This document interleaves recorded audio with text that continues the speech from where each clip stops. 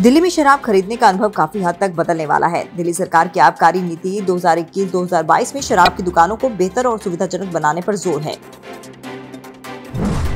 शराब की हर दुकान को एयर कंडीशनिंग की व्यवस्था करनी होगी।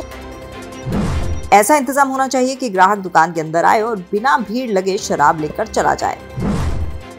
लाइसेंस लेने वालों को ये भी तय करना होगा कि उनकी दुकान के आसपास स्नैक्स या खाने पीने के सामान की दूसरी दुकान ना हो। इससे दुकान के बाहर ही शराब पीने वालों पर लगाम लगेगी। दिल्ली की नई आबकारी नीति सोमवार को सार्वजनिक की गई है। नई पॉलिसी में होटल्स के बार, क्लब्स और रेस्टोरेंट्स को रात तीन बजे तक ओपन रखने की छूट दी गई है।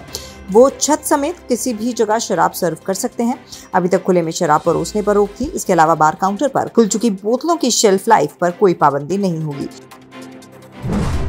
दुकान पर यह भी देखना होगा कि कम उम्र के व्यक्ति को शराब ना बेची जाए। आईडी चेक किया जाएगा। पॉलिसी में प्राथमिकता कंज्यूमर की चॉइस और ब्रांड्स की उपलब्धता पर भी। एक और उद्देश्य शराब की स्मगलिंग रोकना भी है। आपके बिज़नेस का सच्चा साथी।